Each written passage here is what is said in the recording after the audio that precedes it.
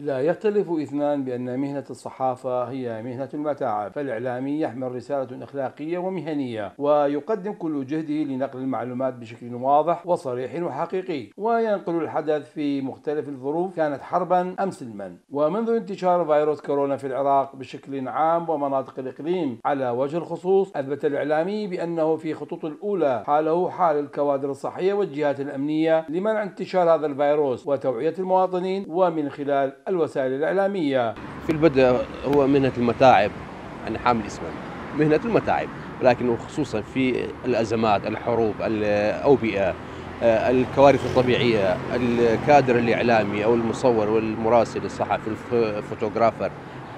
هو الشخص الذي ينقل الحدث يعني يكون مباشرة في قلب الحدث. لذلك الخطورة بشكل أو بآخر دائما تحتذي بهذا الشخص الذي ينقل الأحداث للعالم لأنه نستطيع أن نقول بأن الإعلامي هو قلب وأذن وعين العالم. الإدارة المحلية والجهات المعنية في محافظة السليمانية ومع انتشار فيروس كورونا في المحافظات تعاملت مع وسائل الإعلام بشكل إيجابي ولكن كانت المشكلة هي عدم العثور على متحدثين لإنجاز التقرير اليومي. كإعلاميين ميدانيين عاملين في محافظات إقليم كردستان العراق بكل صراحة. الإدارات المحلية هنا في إقليم كردستان العراق وحتى القوات الأمنية الجميع متعاون مع الإعلاميين الميدانيين.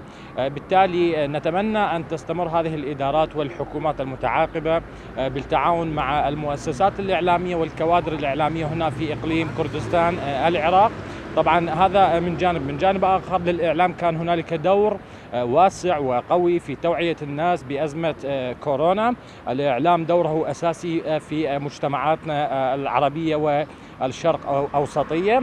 بالتالي يجب التعاون ما بين المؤسسات الصحية والأمنية والإعلامية وكذلك إدارات المحافظات بهدف الخروج من أزمة كورونا. جميع الجهات ذات العلاقة في إدارة السليمانية تتعاون مع الإعلاميين وتقوم بتسهيل أمورهم وترفض وسائل الإعلام بشكل مستمر بآخر المعلومات والتطورات حول فيروس كورونا.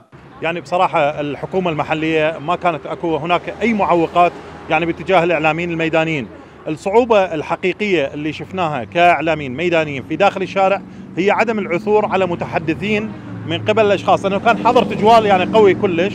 حركة الناس قليلة كلش فبالتالي إنه ما تقدر تنجز تقريرك بالصورة أو بالطريقة اللي أنت تريدها كإعلامي، الإعلامي بأزمة كورونا يعني أخذ أكثر من دور، يعني ما عدا إنه نقل الرسالة بأمانة إلى المشاهد، أيضا عمل على توعية المشاهدين اللي كانوا يعني معتمدين عليه وحاجرين انفسهم في داخل منازلهم، الحمد لله يعني آه قدرنا نقدم اللي قدرناه في هذه الفترة. آه كل الشكر والتقدير للأجهزة الأمنية للحكومات المحلية اللي قدمت ما تقدر تقدمه وأيضا الكوادر الصحية اللي هم جنود البيضاء اللي كانوا دورهم بارز في هذه الأزمة. تختلف حياة الإعلامي الميداني عن بقية المواطنين فالإعلامي الميداني تكون حياته على كفيه خصوصا في حالات الحرب وكذلك في حالات حدوث الكوارث الطبيعية والبيئية. سميت بمهنة المتاعب. ولا يملك الإعلامي سوى رسالة واحدة هي نقل الحقيقة في حالات الحرب والسلم. عدنان جاف فضائد التغيير السليمانية.